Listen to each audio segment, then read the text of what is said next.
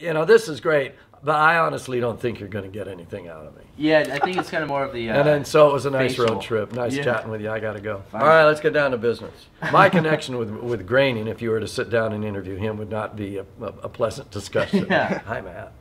Uh, good to see you again. Remember me?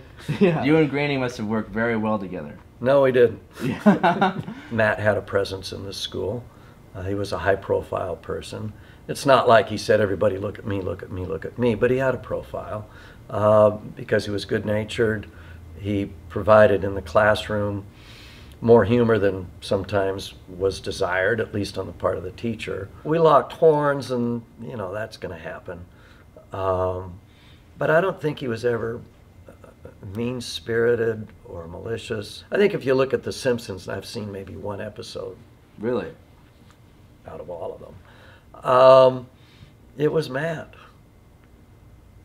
Yeah. It was Matt. That kind of humor that, that bites but doesn't tear. That's an excellent way to put it. Bites but doesn't tear. He played it straight all the way through. I mean, come on. Uh, he'd been, if he skipped class, it wasn't noticeable. Um, he went out for sports. He was involved in, uh, in various clubs. Got involved in student government. Oh, he, he was the anti-establishment establishment Yeah. type guy. Uh, no, student body president. We're not. His, Right, his sister, his sister Lisa, uh, was senior class president. Okay.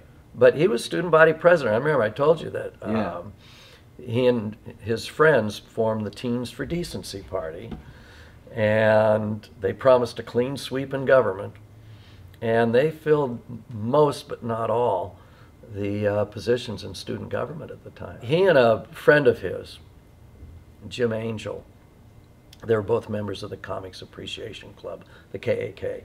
But for one of the Christmas issues, he'd written, it was a Christmas Carol revisited. Someone killed Scrooge. And Bob Cratchit then goes, We're rich, we're rich, we're rich.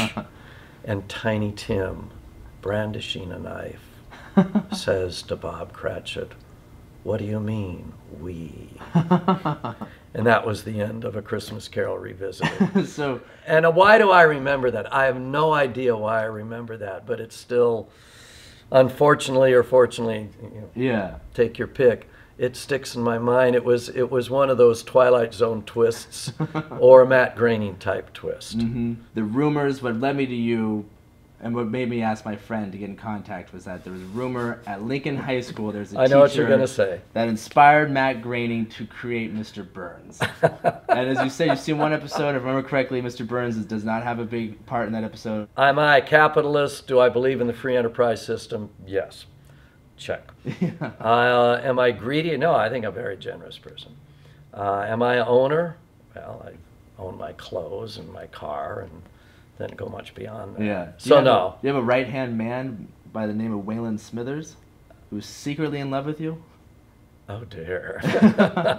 Not that I know. All right. Well, No. yeah. Sorry. Well, you know, we got enough uh, media. We're just gonna go back. Okay. And switch every word there. Where we're gonna make you say, "I am Mr. Burns." You know that would be fun. You know, actually. You do it and I'll seal your ass. All right.